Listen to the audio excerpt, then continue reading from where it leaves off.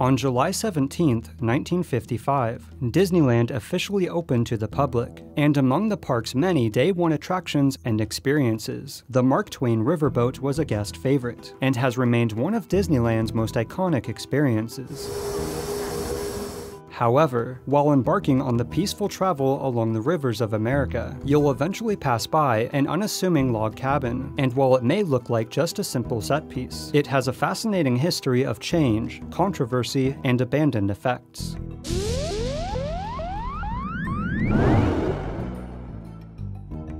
Much like today, as a guest at Disneyland during its opening years, taking a ride on the Mark Twain riverboat was a relaxing journey, in which you would take in views of the park, as well as various scenes depicting wildlife and local inhabitants. However, shortly after setting off, a burning log cabin came into view. Holy that! The cabin is on fire! And in front of this cabin is what appeared to be a man, depicted as having taken an arrow to the chest, in which the riverboat's captain would allude to him having been shot by an unfriendly Native American, who then set his cabin ablaze. Here's a settler's cabin set afire by flaming arrows. But of course, the Indians had their friendlier moments too and for nearly two decades, with the exception of minor adjustments or prop replacements, the scene remained essentially unchanged. But in the 1970s, the backstory was altered after concerns arose about the scene being perceived as racially insensitive, so the scene was now described to guests as the settler having been attacked by river pirates. Pirates! Pirates.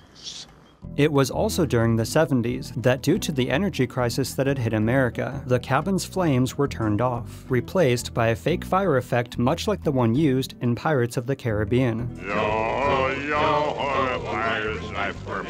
And it wasn't until the mid 80s that the fire returned, and with it came the removal of the arrow from the settler, altering the backstory again, this time to a moonshiner who had passed out from intoxication and had accidentally set his own cabin aflame. But this didn't last long either, as in the early 90s, the settler himself was removed entirely, with the story altered yet again, to the endangering of an eagle's nest on top of a nearby tree.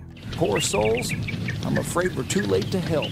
Captain, uh, pardon my opinion, but uh, it looks as if that fire was caused by just plain carelessness.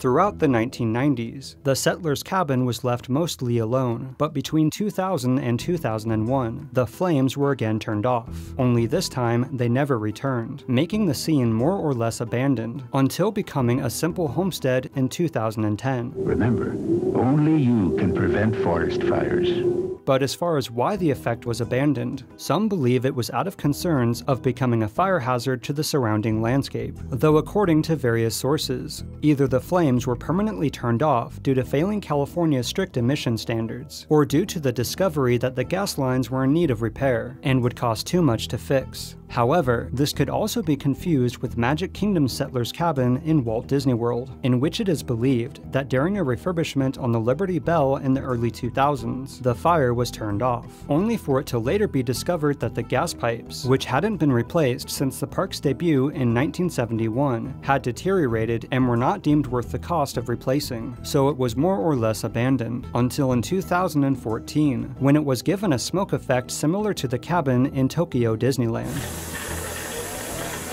But the final nail in the coffin for the original settler's cabin in Disneyland came when a portion of the rivers of America was drained and rerouted, in preparation of the new land Star Wars Galaxy's Edge, as when the Mark Twain reopened in the summer of 2017. The original settler's cabin had been demolished and replaced, all but guaranteeing that the once burning settler's cabin effect will never be seen again. So what about you? What's your favorite less known attraction element that no longer exists? Also, if you would like to help support me in the making of these videos, please check out my Patreon and the Yesterworld merchandise shop. As always, thank you all so much for watching. Like, retweet, and share, and I'll see you next time.